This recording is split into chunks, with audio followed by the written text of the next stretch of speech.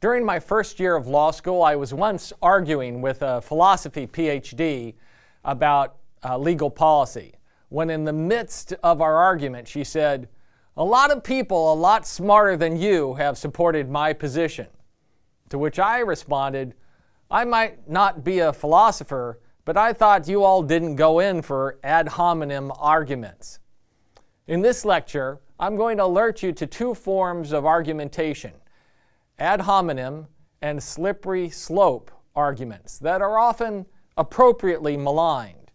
But I'm going to argue that there are circumstances, limited circumstances, where they can be valid parts of argumentation. So they are tools that can be deployed with discretion.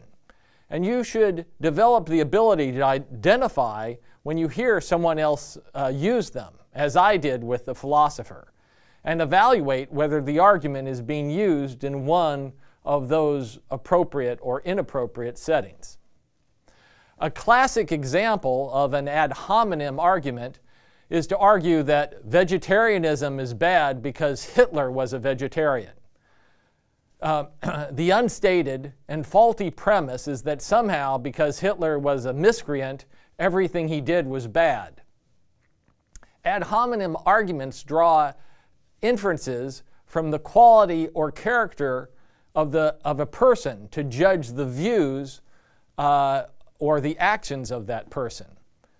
Uh, a more famous and effective kind of ad hominem argument uh, arose during the 1988 vice presidential debate uh, when Dan Quayle argued that he had, quote, as much experience in Congress as Jack Kennedy when he sought the presidency, unquote.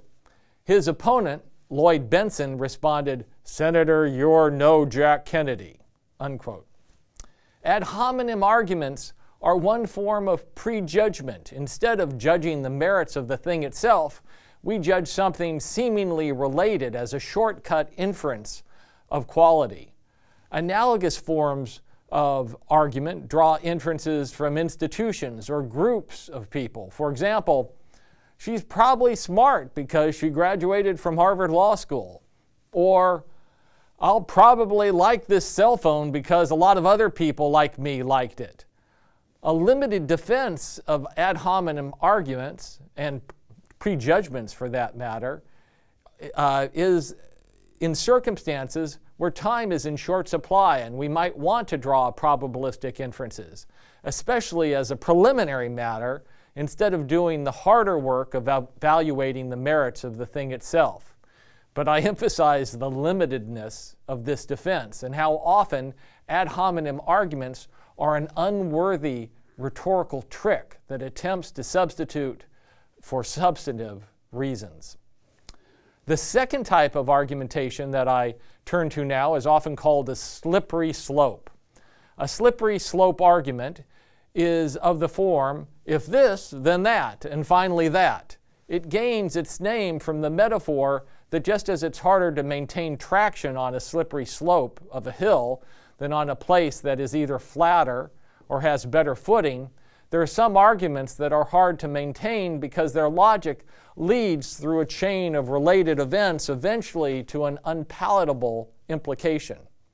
Frederick Schauer has provided a definitive analysis of slippery slope uh, arguments in a 1985 Harvard Law Review article with this same title that, quote, uh, exposes the foundations on which slippery slope claims must stand or fall, unquote. That article forms the basis of this lecture. Justice Stewart once dissented, the camel's nose is in uh, the tent, unquote, to signal a slippery slope concern that the instant outcome uh, will ineluctably lead to a dangerous result in other cases. This kind of argument is also sometimes referred to as a foot in the door argument or the thin edge of the wedge. The song from the musical The Music Man, uh, Trouble in River City, is an extended slippery slope argument. As Schauer points out, it was not the pool table itself that was the ultimate cause of concern, but rather the fear that the presence of a pool table would lead to other activities that were inherently harmful, such as smoking, swearing, and other forms of uh, degradation. In law, for example, the argument is frequently heard that permitting one restriction on communication, a restriction not in itself troubling and perhaps even desirable, will increase the likelihood that subsequent courts will um, find that other increasingly invidious restrictions uh, are also allowable. If the police can constitutionally stop uh, the Nazis from marching in Skokie, Illinois, then what's to keep police from stopping other unpopular groups uh, from marching? More recently, the slippery slope argument has been used to argue if we pass the Equal Rights Amendment, we'll have to allow gay marriage. Or if we allow civil unions, we'll have to allow uh, same sex marriage. In each of these contexts, the end result, metaphorically the bottom of the slope, is an undesired consequence or implication in the eyes of the person making the argument. Sometimes the argument is combined with what's called a parade of horribles, which are a sequence of undesired consequences, again to the person making the argument, as we slide down the slope. As in, if we allow same sex marriage, we'll have to allow polygamy, incest, and ultimately the legalization of bestiality. Paul Gewirtz has argued in his article, The Jurisprudence of Hypotheticals, that courts should give less weight to hypothetical consequences that are merely theoretical possibilities with little uh, probability of arising in the future. You should also become adept at running slippery slope arguments both ways. For example, consider uh, a, a, case of whether Pawtucket, Rhode Island, should be allowed to erect a nativity scene on public property. If the, and if the court allows nativity scenes, it's only one small step to allowing organized prayers and religious services on public property. And then the next step is involvement of public officials in those services. And then official endorsement of particular re- religious denominations, which is exactly what the Establishment Clause was originally designed to prevent. That's one way to run the argument. But you can also run it the other way. If the court doesn't allow the nativity scene, you could fear another kind of a slippery slope. The next step is allowing the courts to prohibit any mention of religion at all, including studying the Bible as literature in schools and hanging um, famous uh, religiously uh, inspired paintings in museums. Uh, and then the courts will prohibit any public official from mentioning, from mentioning religion. And before long, the courts will even prohibit fire and police protection of church buildings the strength and appropriateness of a slippery slope argument turns on the plausibility that the future dangerous case will arise and on whether the future courts will have trouble distinguishing the present decision from the future variation. Schauer emphasizes that slippery slope arguments force decision makers to focus on the future implications of what they do today because of the precedential nature of law, slippery slope arguments are particularly important with regard to legal decision making. Other decision making processes, such as electoral politics, is more often focused on the necessity of the now, of the current moment. In the voting booth, the, electric, the electorate might more easily avoid the slippery slope by just voting no to a subsequent result. But courts may have a harder time avoiding the implications of the pr- principles underlying what they announce today.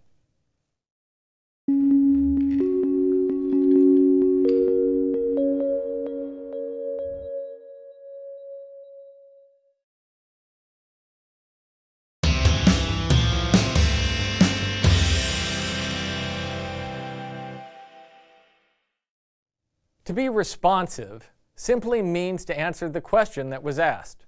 It sounds simple, but a surprising number of people, from presidential candidates to loved ones, fail at this simple task. For example, consider the question Did you eat the last piece of cake? And followed by the answer, That's ridiculous, I hate cake. The answer is non responsive.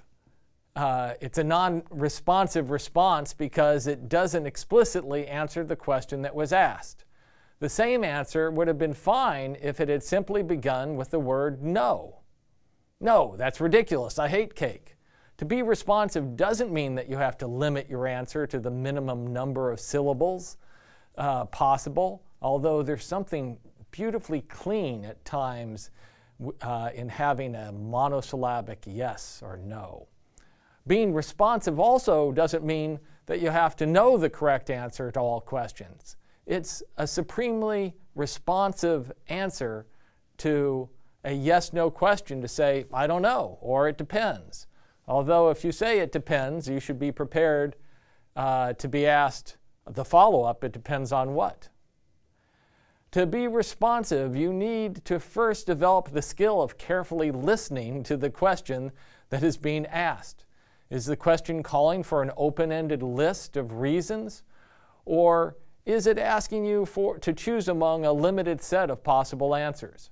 By the way, I find that some professors have very different mixtures of how what proportion of open-ended questions versus what proportion of yes-no questions they ask. Once you've identified what's being asked, the second skill is to begin your answer with the requested information.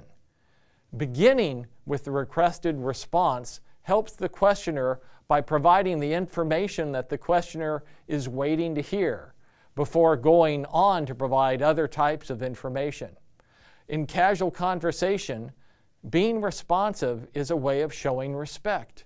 Too many people are non responsive because they think they really know what the questioner's deeper question is.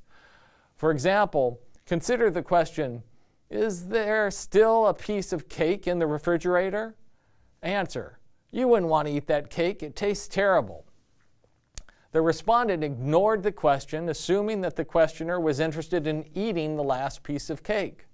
But it's possible that the questioner wanted to know about the cake's possible absent to figure out whether a child was inappropriately eating between meals. You dishonor your questioner when you ignore a question because you think the questioner asked the wrong question. It's so much easier to answer yes but you wouldn't want to eat it. Being responsive isn't just a good idea, it's the law. Witnesses are enjoined to be responsive when giving testimony. A classic moment of trial advocacy is for a counsel during cross examination to intone, Objection, non responsive, move to strike. Your Honor, please instruct the witness to just answer the question. Indeed, while it is fine in class or in conversation to supplement your responsive answer with additional information, counsel can and do limit testimony to the more monosyllabic variety. Um, a counsel might say, just answer the question yes or no. Uh, did you wait two hours before calling the police? So you should strive to not just develop the skill of yourself being responsive, you should develop the ability to, know, to, to notice when other people aren't being responsive. Good lawyers hear a figurative buzzer go off in their heads when they hear someone fail to respond to a question. Practicing with your fellow students is a great place to start. My kids, when they were young, picked up this knack and are keenly attuned to my failings in this regard, taking great glee in catching me by pointing out, Objection, non responsive, Daddy. Responsiveness is also important in addressing the court at trial or in appellate advocacy. In the very first Supreme Court oral argument that I ever attended, Wygant versus Jackson Board of Education, I heard Justice O'Connor having to repeatedly ask the respondent to articulate what the state's compelling interest for race conscious employment practice was. After the third try, she said with exasperation, quote, Maybe I can't get an answer, but I'd really would like to know what the compelling state interest is, unquote. Antagonizing the judiciary is not the best way to further your client's interests. non responsiveness played a small role in spurring me to organize a class action lawsuit against Yale University in 1984. Uh, it was in the fall semester of my second year when law school services were massively disrupted by a strike of clerical and maintenance workers. And I attended a town hall meeting uh, in the law school's largest auditorium where an associate dean explained that the school would be issuing rebates to students with meal contracts for every week the strike lasted. I asked the dean who calculated the amount of the weekly dining hall rebate. The dean responded, Oh, it's just the prorated amount of what you paid. Uh, to which I said, non responsive. But is it your view that the seller uh, in breach is allowed to unilaterally determine the amount of damages, or that those damages are normally equal to a pro rata return of the price paid? The lawsuit might never have been filed if the dean had answered my initial who question.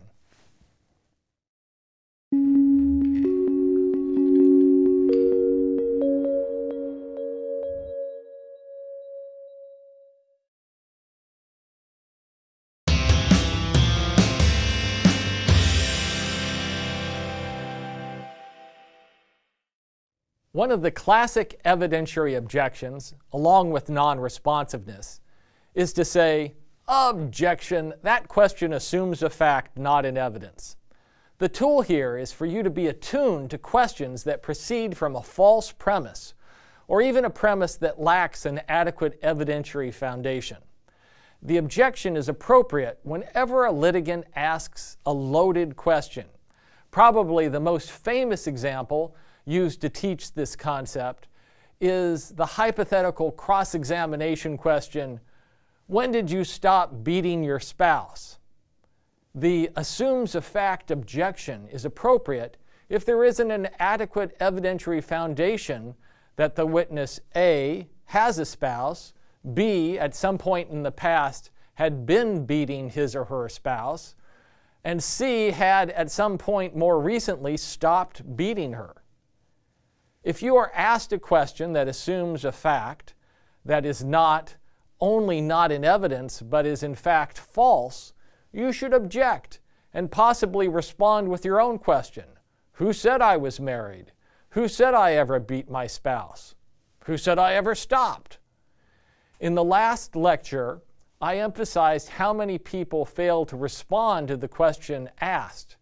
But the loaded question plays on the desire in some people to be responsive. If a CEO is asked, How can you justify your firm's price gouging of its customers? The questioner wins with either kind of normal responsiveness. Either the answer, the price gouging can't be justified, or the answer, the price gouging can be justified, implicitly acknowledges the premise that there's price gouging going on. This assumes a fact not in evidence objection gives you a new way to be responsive by challenging the question's presuppositions. You will be a star if you can catch one of your professors asking a loaded question and respond, objection, assumes a fact not in evidence. My kids, again, use this tool against me to their great amusement. For example, Imagine my daughter tells me she had lunch at a fancy restaurant. I then ask her, Were you the youngest per, uh, patron in the restaurant? What facts have I assumed in, uh, that are not in evidence when I ask this question? Can you see that there, the, it, that there were other patrons in the restaurant? Indeed, to be pedantic, there would need to be two or more other patrons for the superlative adjective youngest to be proper. If there was only one other patron, the appropriate question would be Were you the younger patron?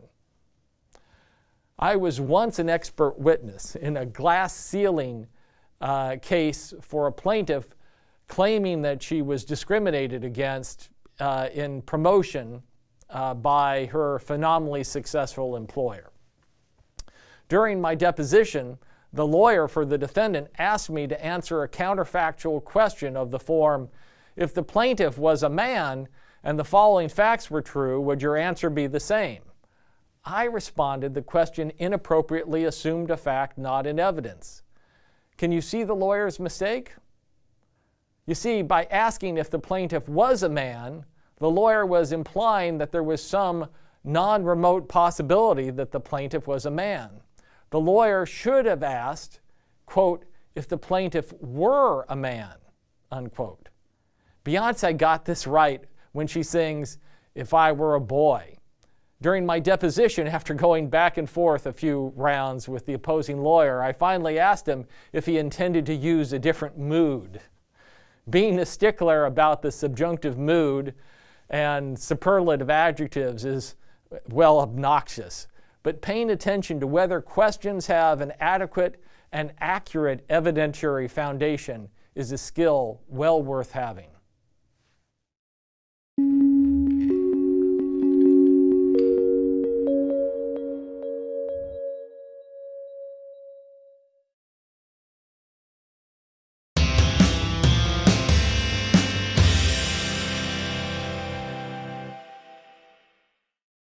Statutory interpretation has semester long courses devoted to the subject. So, my goal here is simply to give you a brief introduction that I'll break into three take home lessons.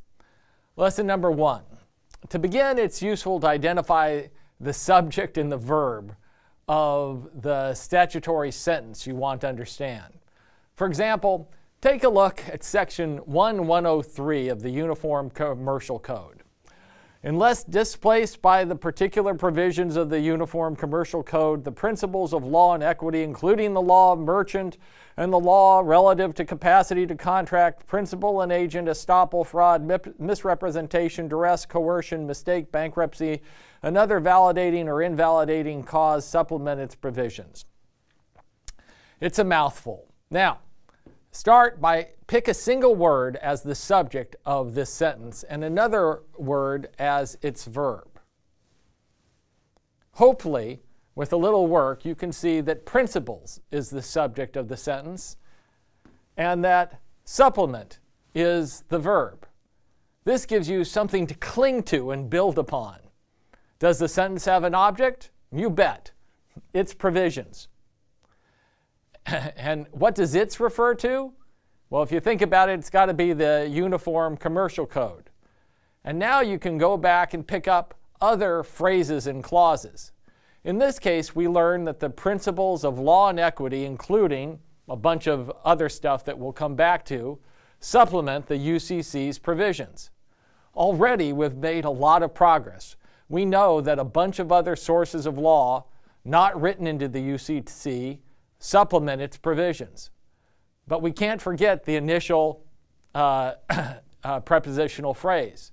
This supplementing doesn't occur if the principles of law and equity are displaced by particular provisions of the code. In terms of default rules, the common law of contract and a bunch of other things are still good law by default unless they are displaced by particular provisions of the UCC. Lesson number two the great California Supreme Court Justice Roger Traynor in 1968 famously wrote that words do not have absolute and constant reference, unquote. Traynor was arguing for the necessity uh, to consider extrinsic evidence in order to interpret the meaning of a contract. There have been ongoing heated debates about whether and under what circumstances extrinsic evidence should be introduced into evidence to resolve ambiguity. Some have argued that extrinsic evidence appropriately constrains judicial interpretation of statutes and contracts. Others have claimed that introducing extrinsic evidence uh, sifted through the adversarial system gives the judge too much discretion to, to choose interpretations that diverge from what the parties, uh, the drafters of the, uh, of the contract or the statute, really intended. Words may not have absolute reference, but they mean something. Otherwise, you probably wouldn't waste your time listening to me. One way to accommodate the possibility of limited ambiguity is to think about a statute in terms of a simple Venn diagram with this single circle in which every point inside the circle represents a possible interpretation of the text. And an unambiguous text would be a single point. An ambiguous text, like depicted here, would give rise to several points. But a somewhat ambiguous text still isn't susceptible to all interpretations. The points outside the circle represent interpretations to which the text is not reasonably susceptible. Imagine a statute says that it shall be a Class A misdemeanor for any person to cause a vehicle to enter Traynor Park. The statute might be suscept- reasonably susceptible to an interpretation that prohibits bicycles or even skateboards as vehicles. But the quoted sentence is not reasonably susceptible to the interpretation that citizens are required to carry firearms in the park. The latter interpretation would be represented by a point outside of the circle. When the text is ambiguous, interpreters sometimes admit extrinsic evidence to resolve the ambiguity. For statutes, the extrinsic evidence might be legislative history. For contracts, the extrinsic evidence might be parol evidence, testimony of the parties as to what they, their conversation was uh, when they were forming the contract. The additional evidence of what the drafters intended can help to narrow uh, the Venn diagram. But again, there are raging debates both uh, with regard to statute and contract interpretation about when and whether it's appropriate to admit extrinsic evidence. In contract law, after considering all of the allowable extrinsic evidence, if there still remains residual ambiguity, the courts next turn to rules of construction, such as choosing the interpretation that disfavors the drafter. This is the contra proferentem rule. Lesson number three notwithstanding the foregoing tidy story of using extrinsic evidence and then rules of construction to resolve ambiguity, statutory and contractual interpretation has defied anything close to algorithmic treatment. Indeed, courts apply a host of interpretive canons, uh, most with impressive Latin names, to help interpret statutes. In a famous 1950 article, Professor Karl Llewellyn showed that these canons were often oppositional. Different canons often led to opposite uh, interpretation. Here I'm going to mention just three of the more famous uh, interpretive canons, along with an example of how the canon uh, has been used.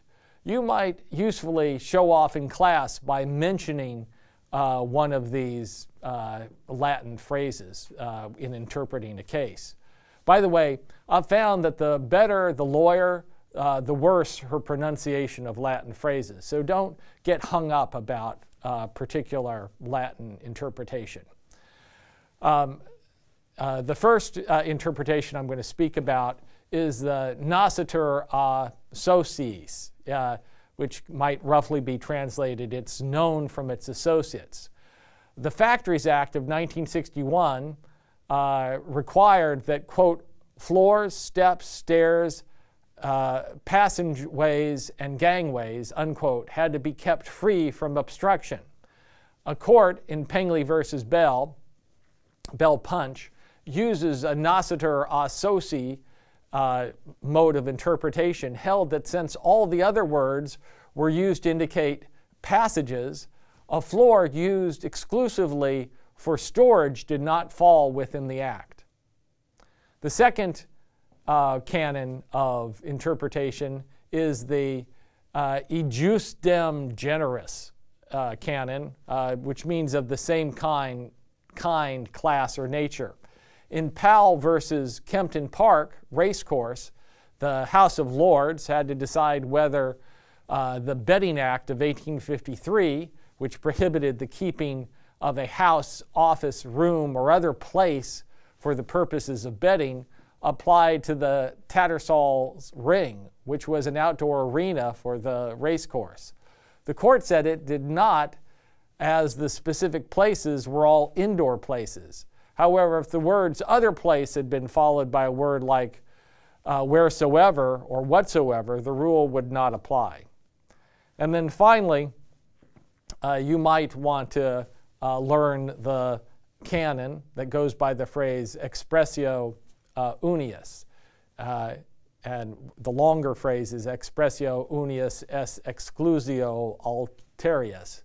Uh, the inclusion of one thing implies the exclusion of the other, but people refer to this just as the expressio unius uh, method.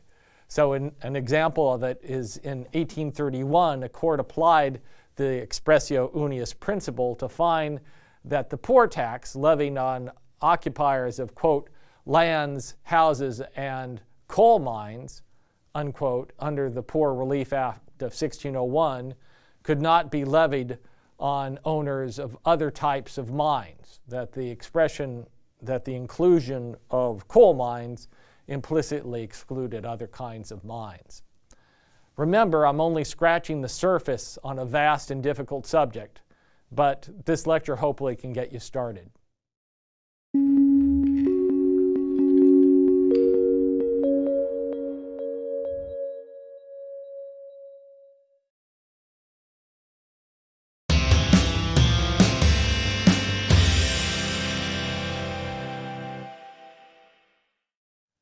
The most important advice here is to take the word brief seriously. Over the years, I've noticed an almost immutable tendency for students who write more extensive briefs, briefs for each case to quit briefing earlier in the semester. It's just not sustainable to write two pages in advance of class discussion for each case that you're assigned. Much better to find the 20 or so words that are most useful for you. Here's my suggestion for what those words should be. First, uh, your, first line should have the case name with annotations indicating which party was the plaintiff and defendant and which party is the appellant or appellee. And, and depending on the course subject, I might add in additional abbreviations for which litigant was the patentee or who's the buyer and seller. In the first line, you should also include the year and the name of the court, or if the judge is a justice or a famous judge, put the judge's name in too. You probably already know that Justice Breyer is relatively liberal when it comes to constitutional law, but you probably don't know what his antitrust jurisprudence is. This simple technique of writing the name of the justice when you brief a case will let you easily start developing fuller pictures of the uh, judicial philosophy of individual justices. So, for example, the first line uh, might say Jacob and Youngs versus Kent. And here, this tells me that Jacob and Youngs was the plaintiff, uh, uh the appellant. I use T and E for appellant and appellee uh, uh, respectively. And in this case, it's a contracts case. The S indicates that Jacob Young was the seller, in this case of services. And Kent was the defendant, and the appellee and the buyer. Now, you could leave out this uh, and infer it from the first parenthetical, but I like to have it there so I can look quick, uh, directly at Kent and know who he or she was. Uh, the case was decided in 1921 uh, in New York uh, Court of Appeals, uh, which is uh, the highest court of New York, and it was decided by uh, Justice Cardozo. All that's what's what I learned from just the first line. Second, I summarize the procedural history by indicating who won below. In this case, I know that in the initial trial court, the defendant won and that in the initial and that in the case I just read, which is underlined, I know who won, that the plaintiff won a, a new trial. Third, I then try to summarize the facts of the case in a single declarative sentence. Here, the builder fails to install promised Reading pipe. Fourth, I then try to summarize the central legal conclusion. Some people prefer to have question and answer. Can the buyer refuse to pay for insubstantial seller breach? Uh, no. But I prefer to state the issue as a conclusion. These conclusions are the rules that you will take from the case. For example, here I would instead uh, write down buyer can't refuse to pay uh, for insubstantial seller breach.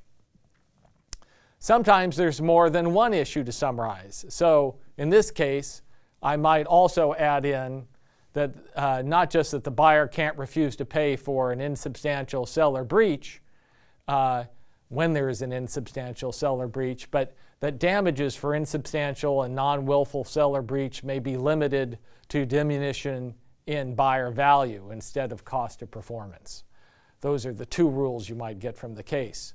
You might also deploy some of the categories that you've learned in these lectures to help categorize uh, the rules of the case. For example, is the rule of the case a default or is it a mandatory rule? Is it a standard or is it a rule?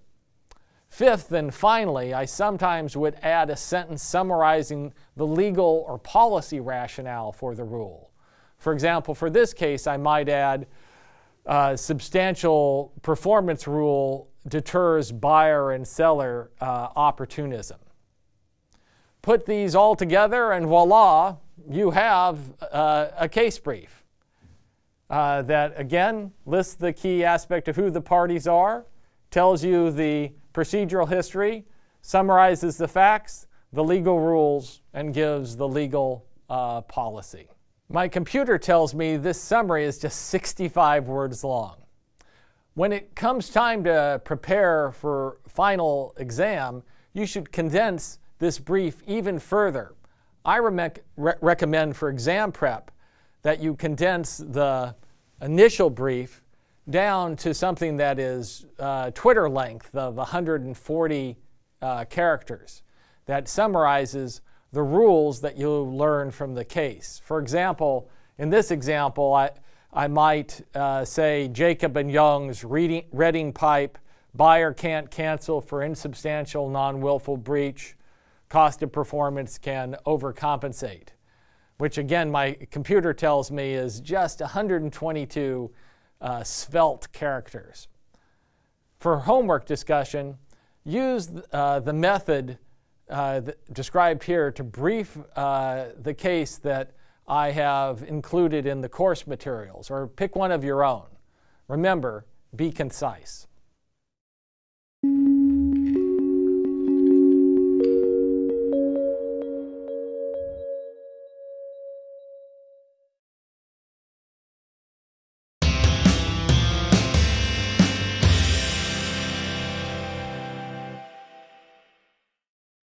Many beginning law students feel very nervous about being called upon in class. They're not accustomed to the Socratic method of questioning. They're thrown by the sheer size of the class because they've grown used to the seminar sized classes more common at the college level. For some, this anxiety is so acute that their minds go blank as soon as their names are called. Even if you feel a milder sort of anxiety when called upon in class, you can begin to overcome this fear in a counterintuitive way by raising your hand and volunteering to speak. The key is to prepare a question or comment in advance that is related to a, uh, a case, statute, or rule that you've been assigned to study.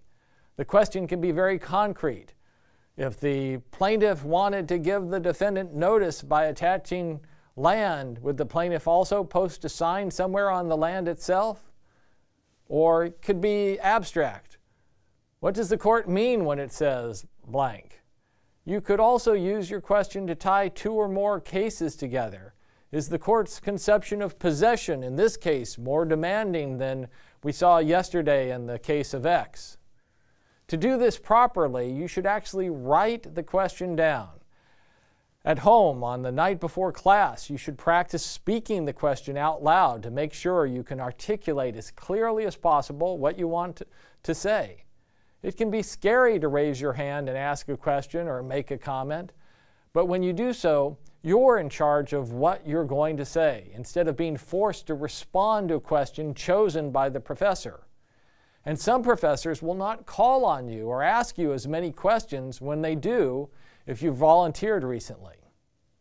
Second, Learn to become comfortable with silence, both before and after you speak.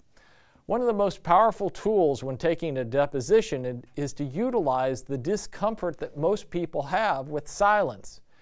If a lawyer asks a deponent, Tell me all the ways your parenting style may have been flawed or misguided, the deponent will give an initial answer, but just by waiting and letting silence fill the room, the lawyer can sometimes cause the deponent to add additional words that he or she wasn't planning on saying. When a professor asks you a question, listen to the question and first and foremost be responsive. And after you've said what you wanted to say, stop speaking and be comfortable with letting silence ensue. If you're asked a yes no question, there's something particularly clean and lawyerly by simply responding yes or no, or even it depends, and nothing more. Trust the professor to follow up and ask you why, or it depends on what. As I've emphasized in my lecture on responsiveness, you'll get extra points in the professor's mind, regardless of whether your answer is correct or incorrect, just by tracking the question and responding to it succinctly. I routinely ask my students to intentionally give a wrong answer sometime during the semester in class without telling me or their fellow students when they are fulfilling the assignment.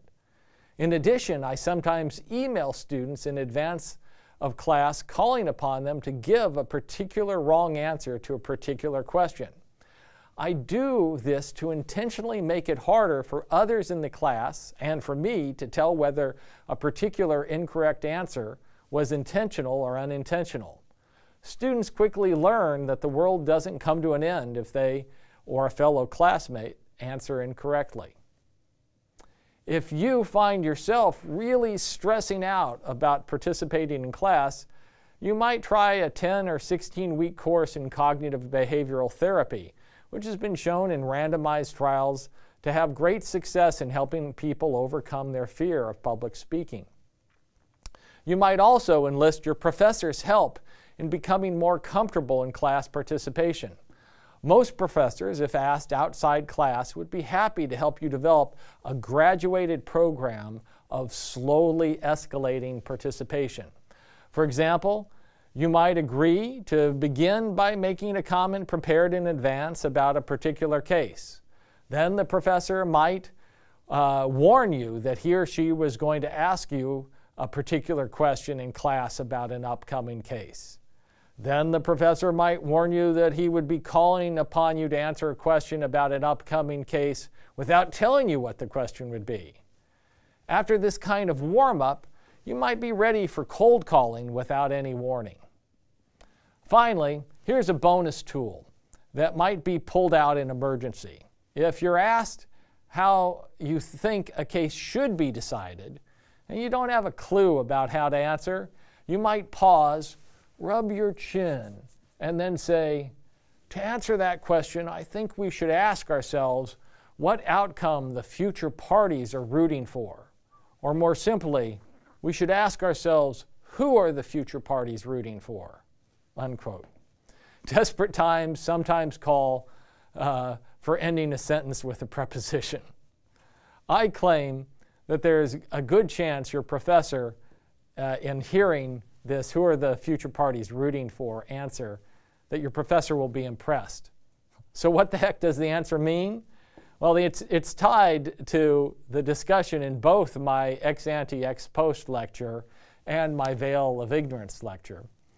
Uh, the future parties are in the ex ante position with regard to the uh, dispute in question, while ex post, the suit being filed, plaintiffs and defendants are naturally in the opposition. Uh, they're in the ex post position. But ex ante, there's likely to be more agreement about what outcome is efficient and equitable. After the fact, a car company may not want to be held liable for a defective a gasoline tank. But ex ante, there's a better chance that car manufacturers generally would support regulation that's going to make it easier for them to sell cars. Answering a normative question by asking who or what the future parties are rooting for is a way not only to impress your professor and buy some time, but it hopefully will lead you uh, under follow up questioning to make an argument about what the future parties would likely agree to, about what, uh, about what from the ex ante perspective, is efficient and equitable way to resolve disputes of this kind.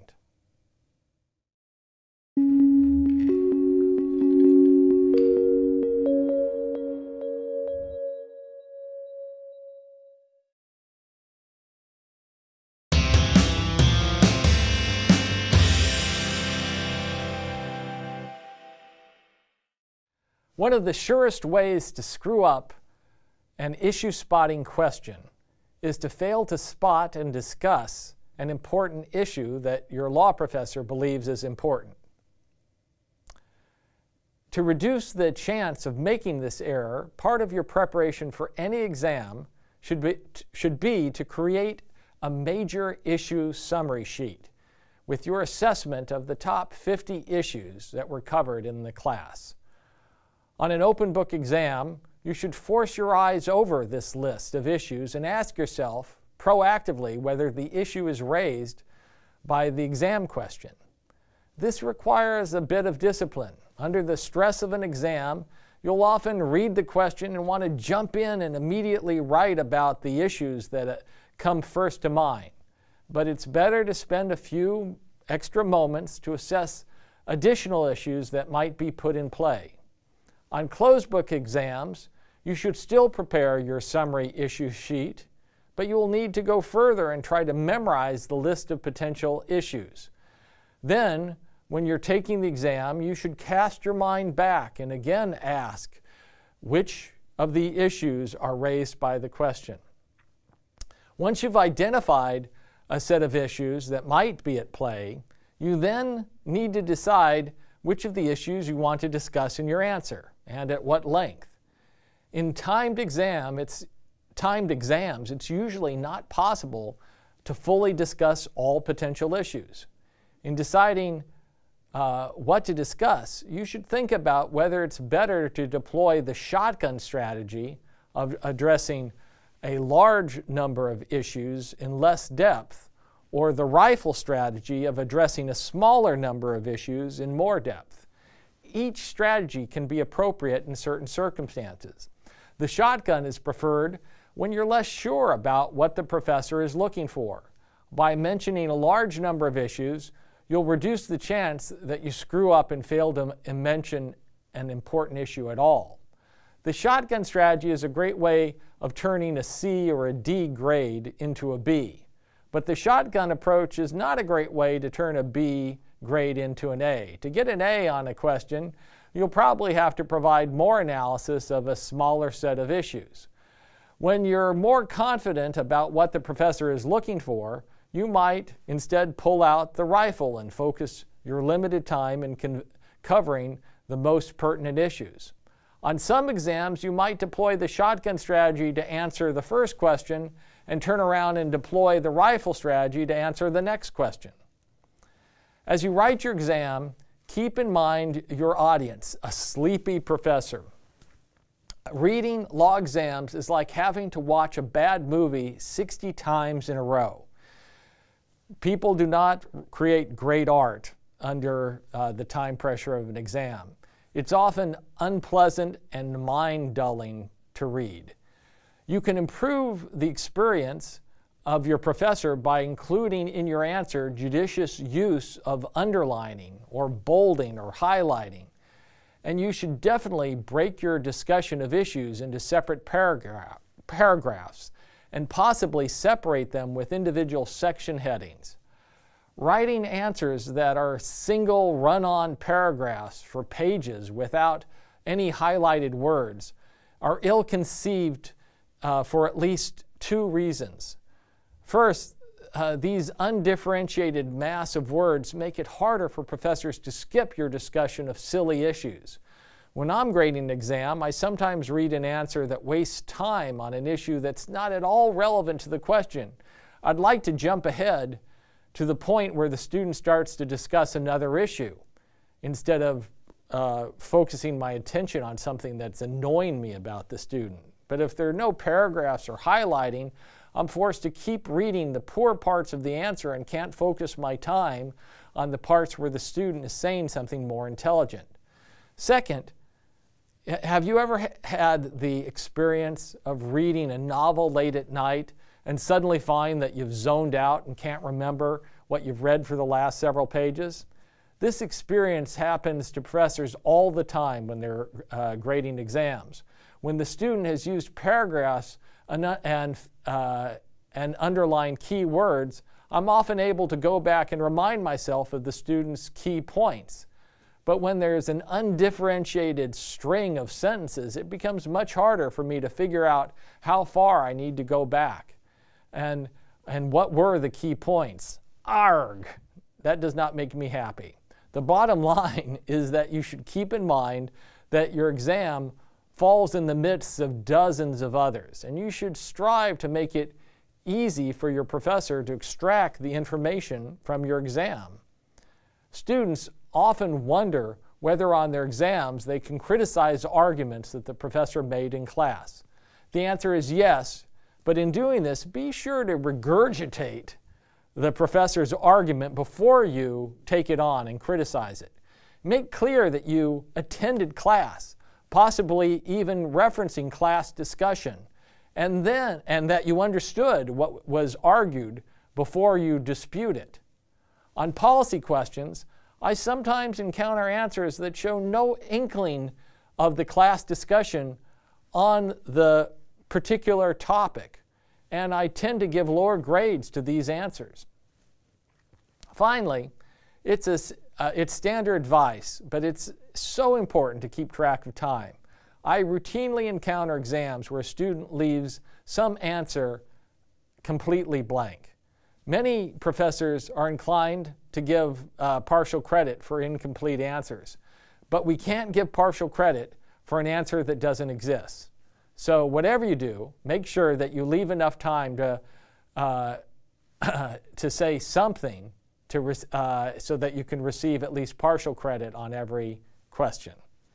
And finally, here's a bonus tool.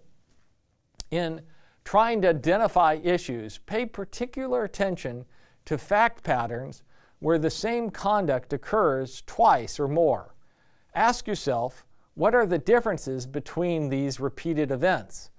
Professors, in crafting exam questions, often repeat an event with slight variations to highlight an issue uh, that they want you to discuss in your answer.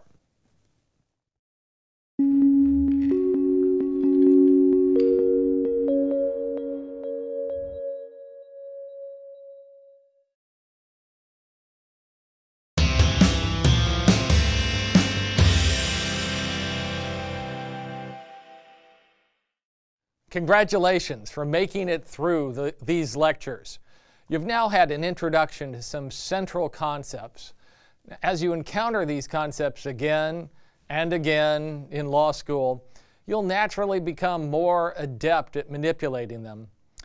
But having an initial understanding is very likely to help you digest the rules that you encounter in your class materials. Of course, there's some arbitrariness in what gets included and excluded in any attempt at defining a canon of foundational concepts. Bob Dylan wrote the song A Hard Rain's Going to Fall during the midst of the 1962 Cuba Missile Crisis and said that its lyrics were the initial lines of all the songs, quote, he thought he would never have time to write, unquote. In this postscript, I'm going to mention five more tools that I didn't have time to include. More information about them is just a web search away. So first, flowcharts. Uh, flowcharts lay out the disjunctive, conjunctive elements of a cause of action.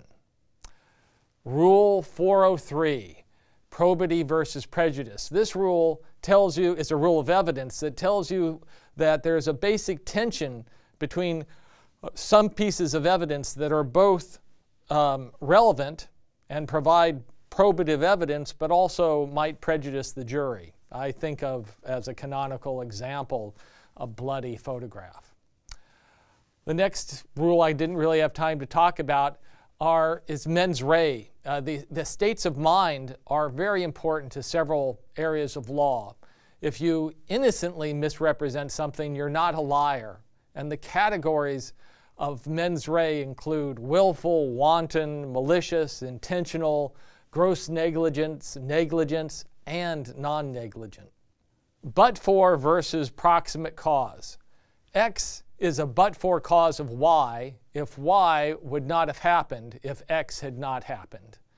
But there's also this concept of proximate cause that something need not be just a, a but for cause in order to uh, uh, in order for there to be legal liability. You also have to have it something close in the causal chain. So uh, my uh, parents conceiving of me was a but for cause of me giving these lectures, but it's not a proximate cause.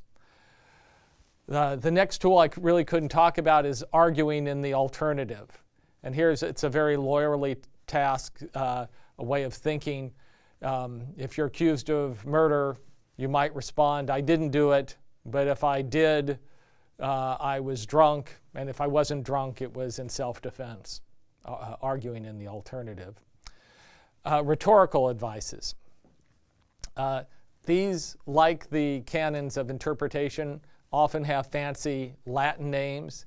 Uh, it turns out that Ward Farnsworth has a great book on these two.